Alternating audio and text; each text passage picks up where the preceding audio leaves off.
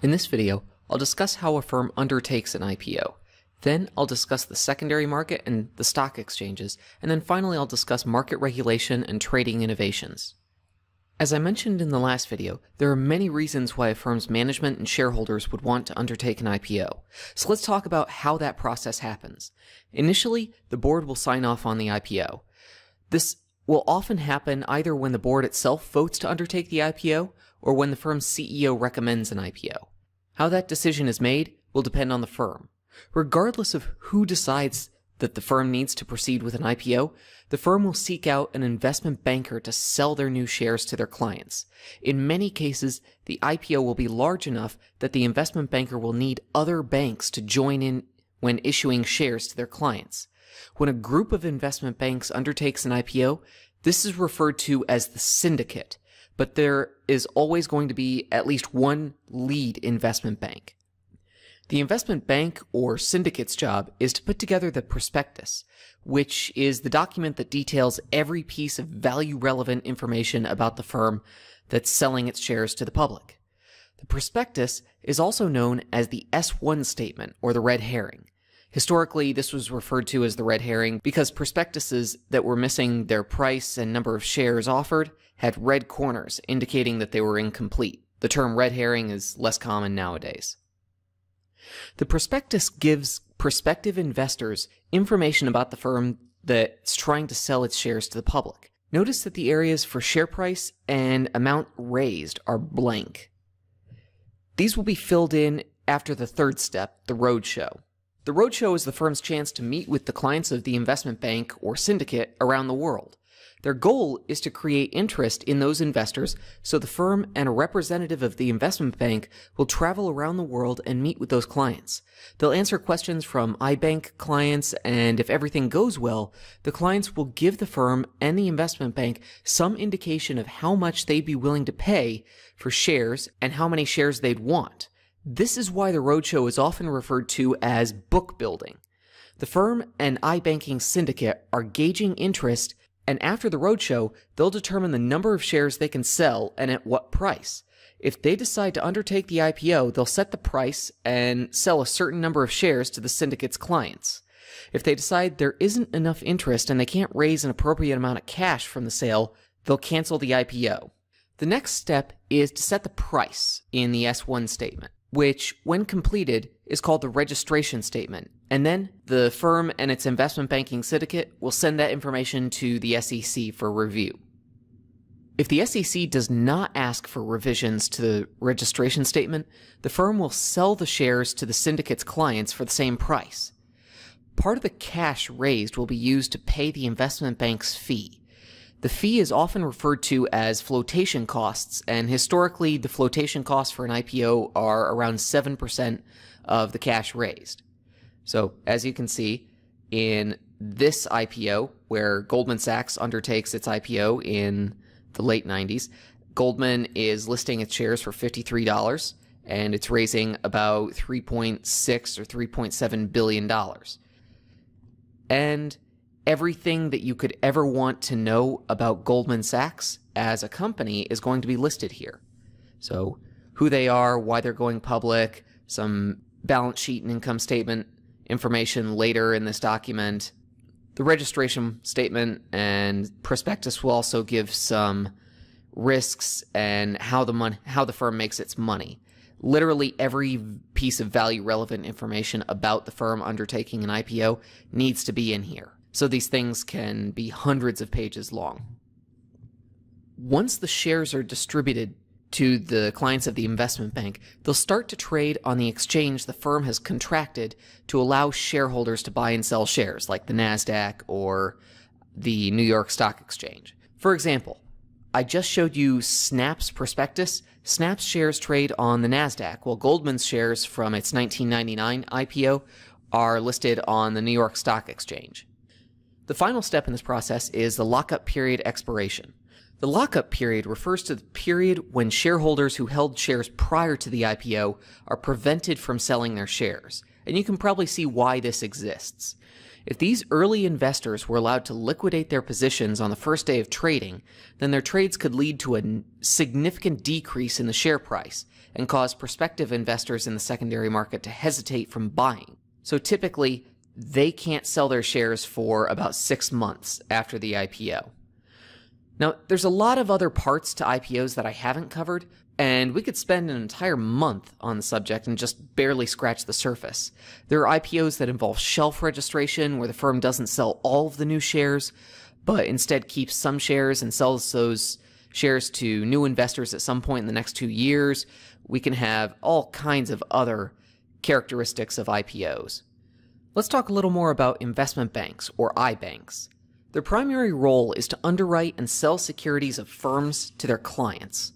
Investment banks can create almost any type of security, including bonds, stocks, and preferred stock. When a firm issues stock, it's always going to have at least one lead investment banker or lead underwriter, and that lead underwriter is going to organize the syndicate. That syndicate, each of those banks will have a, a number of clients. So large investors, large retail investors, maybe there'll be some institutional investors. And in the IPO, the investment banker will sell shares to those clients. Since the 1980s, the standard compensation for the syndicate, as I've mentioned, has been about 7% of the cash raised. When an iBank oversees an IPO, there are two ways it can sell the shares. The first way it can sell those shares to its clients is the best efforts method. Now, the best efforts method involves the iBank giving its best efforts to sell the shares to its clients. Any shares that can't be sold are not issued. The second method that we'll talk about here is the firm commitment method. And this is a bit more risky for the uh, investment bank. It involves the members of the syndicate, the, the actual investment banks, buying all the shares and then selling them to their clients. Any shares that are not sold to their clients are held in the investment bank's portfolio. Now, as you can imagine, this method is far more risky for the investment bank. And because of that, anytime you see that an investment bank is underwriting a new security using the firm commitment method, that IPO is likely to outperform another IPO that's being undertaken using the best efforts method. Now let's take a look at an actual IPO, Facebook's IPO. As you're aware, Facebook is a publicly traded company. It became a publicly traded firm in 2012, and here's how it happened. In early 2012, Facebook was working with its syndicate, which included JP Morgan, Morgan Stanley, and Goldman Sachs. This syndicate put out an S1 statement on February 1st of 2012. Then Mark Zuckerberg and the members of the syndicate began the roadshow. So they went to places like Denver, Colorado, probably a couple of cities outside of the US, and they gauged the interest of their syndicate's clients. Now, what they found is that demand for Facebook shares was so strong and the price that investment banking clients were willing to pay was so high that they decided to actually issue 25% more shares than they originally expected or were originally specified. They set their share price also above their initial range or their expected range of share prices.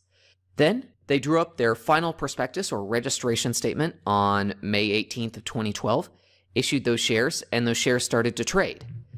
Now, this was up until this time the largest tech IPO in history, and on the first day of trading, Facebook's shares appreciated in value by 23 cents, or 0.6%, or 60 basis points. We'll talk about why that's important in a second. The final step occurred when Facebook's lockup period expired on August 16th, 2012. So that meant that the early shareholders, like Mark Zuckerberg, could sell their shares to the public, whereas in this period from May to August, they couldn't. They were in the lockup period. Now, I just mentioned that first day of trading, or that return on the first day of trading. Let's talk about why that's important. Now, management of a firm that's undertaking an IPO doesn't want the price of shares to fall. The good news is that historically, the one day return is on average 15% across all time periods, industries, and countries. In other words, shares that start out worth $100 at 9:30 a.m. when the markets open on the first day of trading for a new security will, on average, be worth $115 by the end of trading. This large one day return phenomenon is referred to as IPO underpricing because shares are clearly priced below the price the market is willing to pay for the shares. However, the amount of underpricing is not consistent across IPOs. I took this data from Jay Ritter, who's arguably the world's leading academic authority on IPOs. As you can see, the stock of tech firms during the dot com bubble was heavily underpriced. Notice that the mean underpricing of IPOs of mature firms during the 1980s was only 3.8%. So, what's going on here? Why is underpricing so high for certain IPOs, but so low for others? There are several reasons noted by researchers. I believe the most likely is that IPOs are risky. If a manager is going to incentivize clients of an iBank to buy shares of a stock that's young or hasn't turned a regular profit, then they're likely going to have to underprice those shares to the point that those iBanking clients will be willing to buy those shares. Therefore, the riskier the security, the greater the amount of underpricing. So, as you can see here, internet and tech stocks historically have had a greater amount of underpricing than, say, mature firms or mature I- firms that undertake IPOs like Goldman Sachs, which would be in this group here. Non internet and non tech stocks don't perform especially well on their first day of trading. Internationally, a lot of stocks in China actually see huge amounts of underpricing or huge one day returns. If you want to see that, just take a look at our appendix slides. There are two other explanations for IPO underpricing that I'll mention here. First, there are several researchers who have hypothesized that the firm is compensating investors for specifying their level of interest. The argument here is that the firm's management is incentivizing the institutional investors that buy these shares to give up their private information. The compensation would need to be higher for these riskier securities. In other words, it's a compensation story. Another possibility is that the firm is underpricing the issue to quote unquote leave a good taste in investors' mouths. The argument here is that the firm might need to issue a secondary equity offering, which occurs when the firm issues more shares of the stock to raise cash after the IPO. If the firm left a good taste in investors' mouths during the IPO, aka investors earned a large return, then they should be more likely to buy shares of a secondary equity offering, or SEO. Now, there's less empirical evidence to support this theory. The firm might never issue an SEO, or it might issue sh- new shares very far in the future. As you can tell, I think the first theory, the risk story, makes the most sense. IPOs are risky and therefore require greater compensation for investors. Once a firm issues shares, those shares will begin to trade on an exchange. There are two types of investors that are most likely to buy or sell those shares. First, we have individual or retail investors. You and I are individual or retail investors. We set up brokerage accounts with a broker dealer like TD Ameritrade, which allows us to deposit money in an account and then buy shares with the amount we've deposited. At the same time, broker dealers operate in this space. As their name implies, a broker dealer serves a dual role. First, they fill the role of a broker by taking orders from clients to buy and sell securities and matching those orders with other open orders. Their other role is to act as a dealer or market maker. In this role, they buy and sell securities on their own behalf in an attempt to make a profit. Most of the brokers you've ever heard of, like TD Ameritrade, are both brokers and dealers. To simplify their title, we just call them brokers. Now let's talk about the exchanges where stocks trade. As a disclaimer, what I'm about to discuss is a topic called market microstructure, which refers to the structure of the market and how securities are traded in that market. One of the things you should know about market microstructure is that it can change rapidly. In fact, since the first time I taught this class in 2016 at Indiana State University, the terminology has changed a few times.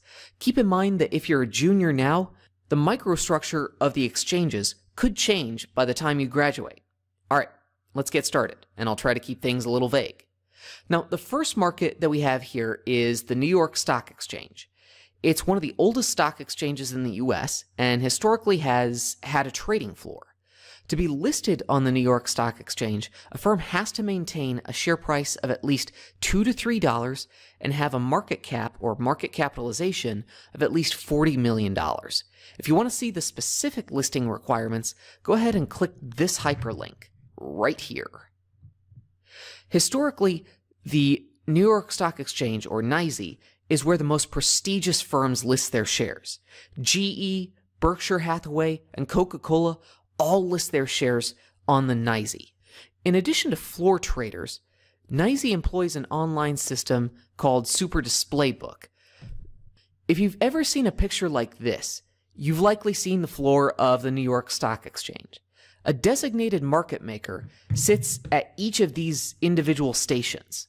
The designated market maker, or DMM, is in charge of creating liquidity for one specific stock. They handle large orders and keep track of the order book. If an institutional investor wants to buy, let's say, a million dollars worth of shares of Ford, or let's say, just to make it simpler, a million shares of Ford, they're probably going to buy it on the floor of the exchange. The other way shares trade on the NYSE is electronically. The DMM also serves as the firm's point of contact if the firm wants to find out the mood of investors. Let's say they're they're planning an SEO and they want to gauge investor interest. They'll talk to the DMM. In addition to the floor traders, the NYSE employs an online system called Super Display Book. This is a server-based system where brokers can trade their shares on their own or the client's behalf without having to be on the floor of the exchange. So let's take a look at how this works. So I've already mentioned the floor of the exchange. That's where the DMM sits. And if you've ever seen videos of the New York Stock Exchange, you'll see brokers surrounding the DMM trying to place orders to buy and sell shares. Each of those brokers or broker dealers probably has at least a few retail investors or institutional investors that are their clients. So they're buying and selling shares on behalf of their clients. Now, in addition to the floor of the exchange, which is this left side of the chart I created, poorly, I might add, uh, we also have the super display book. So this is this is where the shares trade electronically on the internet. So you have brokers connected to the super display book, which historically has been called many things, including SuperDot, but you don't really need to know that. Uh, so these brokers, again, they have clients who might be retail investors or other institutional investors, and they submit orders to their broker. Broker places the order on the on Super Display Book if they can't fill that order directly with their own shares, and then that order will be matched up with orders of let's say another client of another broker, assuming the the prices match up. The next exchange we need to discuss is the NASDAQ, which was created in 1975, so a lot more recently. Because it's newer, it's unsurprisingly more modern. The NASDAQ lists about 3,000 stocks right now. Just like the NYSE, firms choose to list their shares on the NASDAQ. A firm will choose between the NYSE or the NASDAQ, but won't list on both. The reason they'll choose only one of these exchanges is because the firm has to pay an annual fee to the exchange for its shares to trade there. The NASDAQ primarily hosts the stock of tech firms and smaller firms. Firms like Google and Apple both list their shares on the NASDAQ. The big difference between the NYSE and the NASDAQ is that there's no trading floor for the NASDAQ. All trades occur online.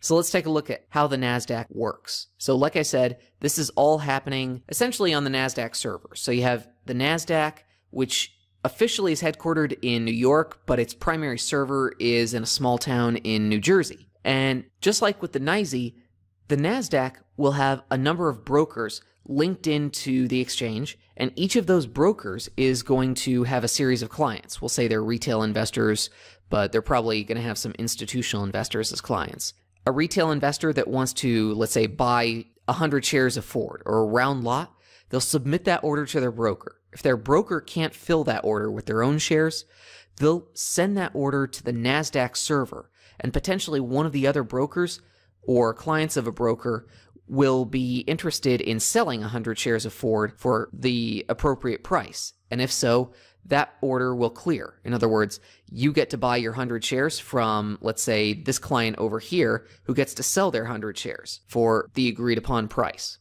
Now, there are other exchanges besides the NASDAQ and the NYSE, both inside and outside the US. Inside the US, there are regional exchanges like the Boston Stock Exchange, Miami Stock Exchange, and Philadelphia Stock Exchange. In recent years, many of these exchanges have been acquired by the NASDAQ or the NYSE Euronext. For example, the Philadelphia Stock Exchange is now known as NASDAQ OMX PHLX. In other words, the Philadelphia NASDAQ. NYSE Euronext is the firm that owns the New York Stock Exchange. It was formed when the New York Stock Exchange acquired the European Stock Exchange Euronext in 2007. There are also exchanges that allow the trading of options. The biggest of these is the CBOE, or Chicago Board Options Exchange. In addition to the CBOE, many of the exchanges acquired by the NASDAQ also trade options, and they can also trade futures contracts, but we'll come to that. Uh, the largest futures exchange is run by the CME Group which is the organization that has acquired many old futures exchanges like the Chicago Mercantile Exchange, the Chicago Board of Trade, the New York Mercantile Exchange, and the Commodity Exchange. In other words, the market for futures contracts is dominated by the C- CME group. You can visit their website and see everything that they trade. Now let's talk about alternative trading systems, or as they're also known, electronic communication networks or ECNs.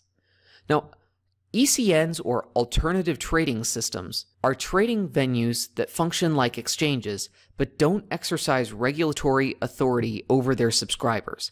Essentially, they're a way for many investors to submit orders from a trading platform without having to be at a physical exchange.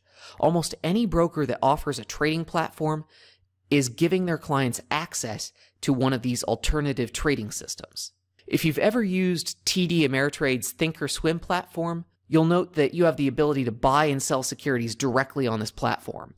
Any order you place on the Thinkorswim platform from TD Ameritrade is going to be transmitted directly to TD Ameritrade, and they'll actually fill the order or send it out to the actual exchange. Now, these platforms, they allow retail investors like you and me to mostly submit limit orders, which we'll talk about in a couple of videos. Uh, but limit orders are where you specify the most that you're willing to pay or the least that you're willing to sell your shares at. Now, whether you get to buy shares depends on the limit price that you submit, and it also depends on the speed with which the order travels to the server. Electronic communication networks, or ECNs, are used primarily for trading stocks and currency.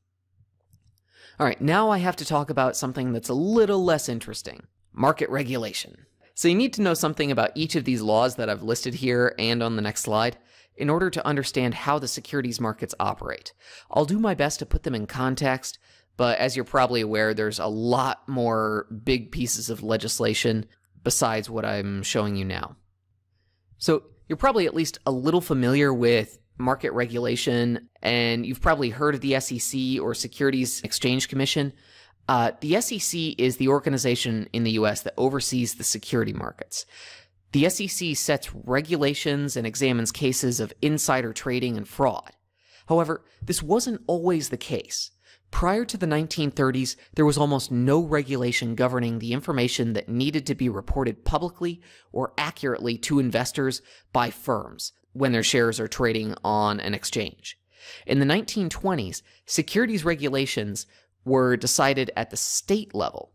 One problem with this is that some states had more lax regulations than other states, and firms found that they could sell shares across state lines easily. As you know, there was a market crash starting in 1929.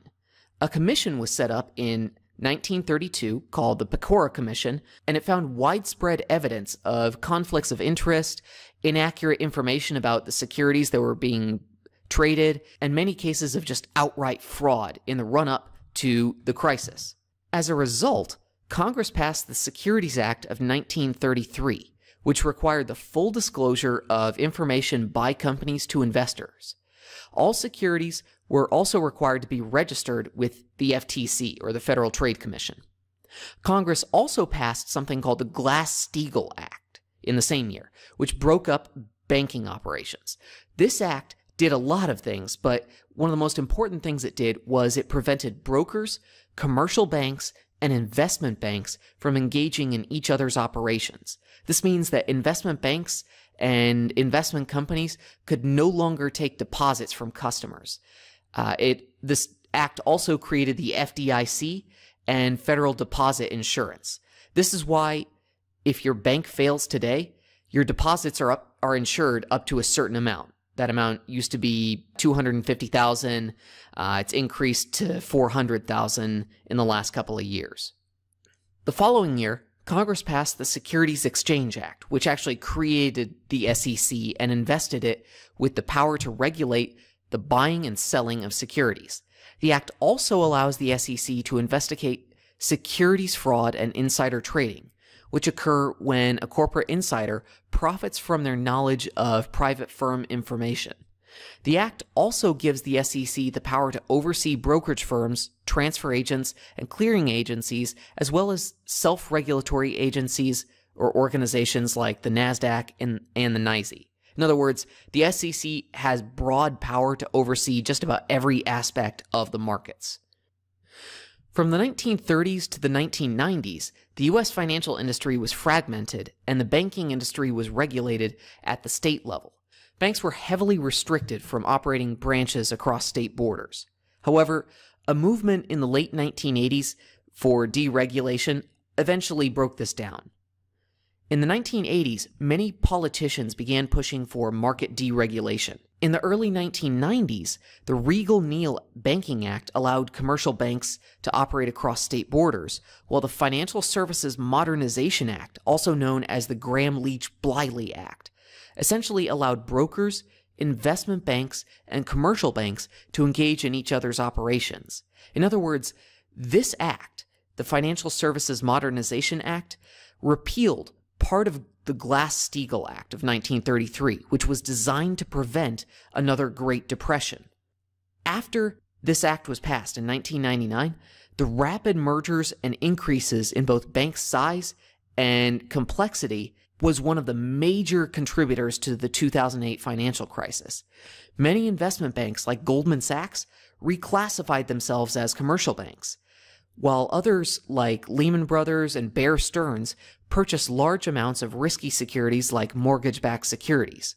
When it became apparent that these mortgage backed securities were highly overvalued, the banks that purchased them began to take write downs on their balance sheets. The write downs decreased the value of the assets the bank owned and led to low book value of equity and high debt to equity ratios. Bear Stearns was actually able to be acquired by JP Morgan Chase, but Lehman Brothers was allowed to fail.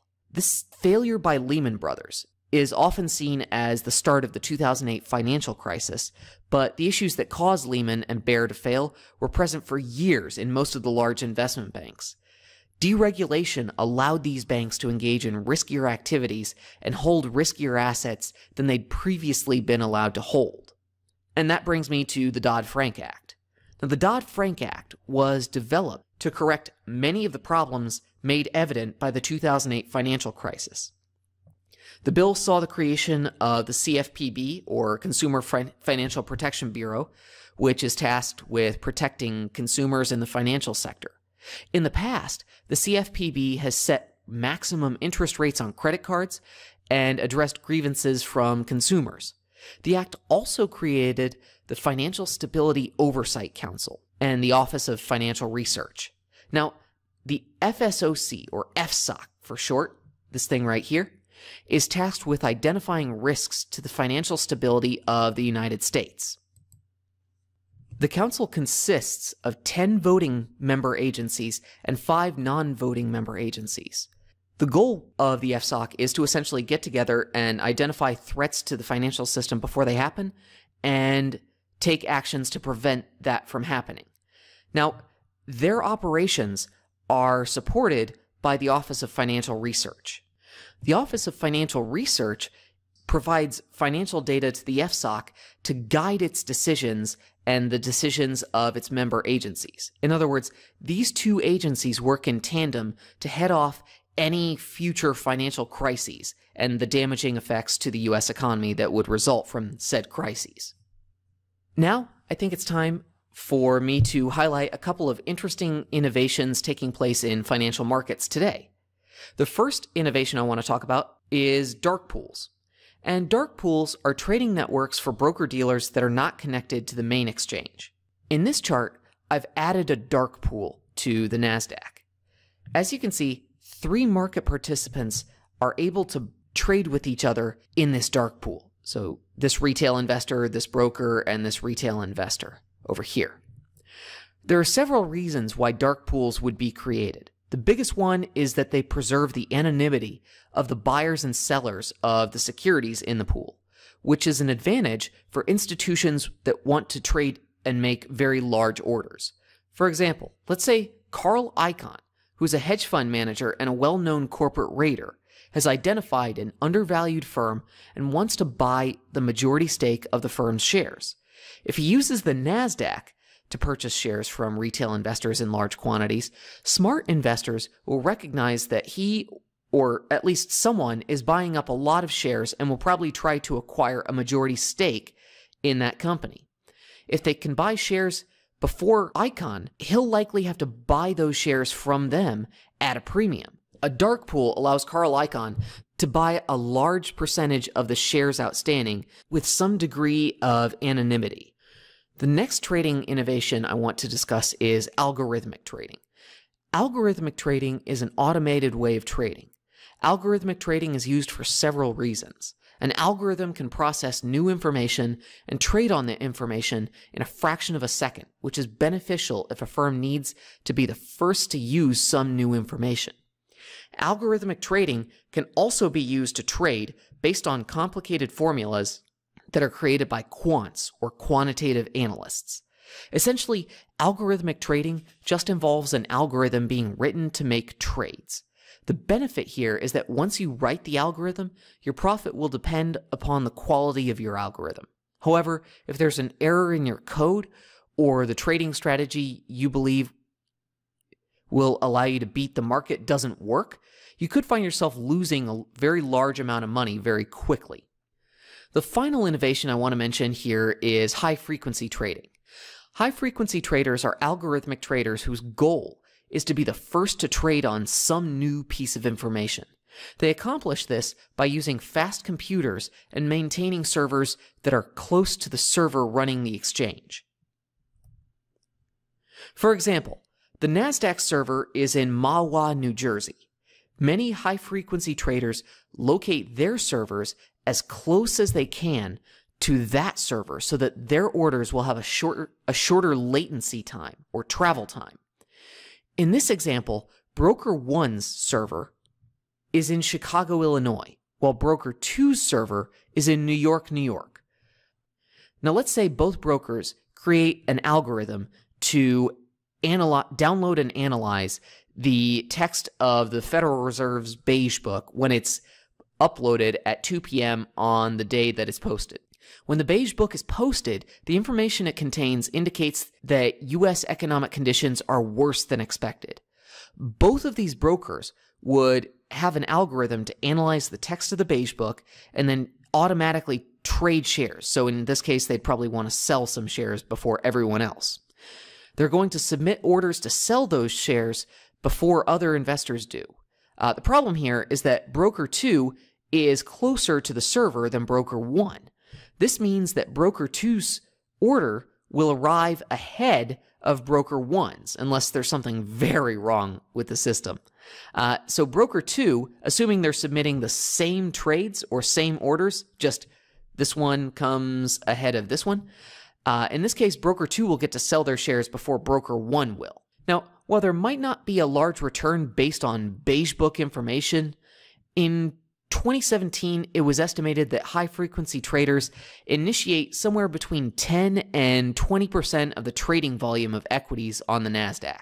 So, in other words, even if they're not making a large amount of money on each trade, high frequency traders are making a huge percentage of the trades.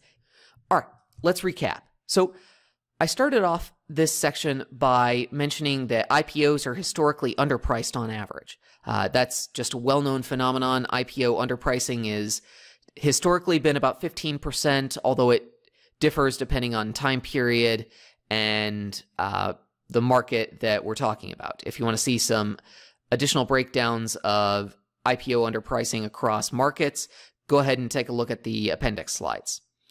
Now, another thing you should know is that most of the volume of shares traded in the US is done via stock exchanges, like the New York Stock Exchange or the NASDAQ. Those are the big two in the US, and the New York Stock Exchange is actually the biggest exchange in terms of dollar value traded in the entire world.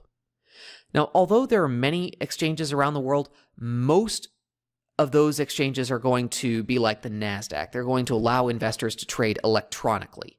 Most invest uh, most exchanges don't actually have a trading floor like the New York Stock Exchange has his historically had. And finally, you should know that the regulation of financial markets has tended to swing throughout history. So prior to the 1930s, we saw very lax regulation of the markets. And then from the 30s to the 90s, markets were fairly well regulated. And then starting in the mid to late 90s, we saw a general deregulation of financial markets. All right, so with that, I'm going to wrap up. And if you have any questions, please feel free to ask. If not, I will see you on the next video.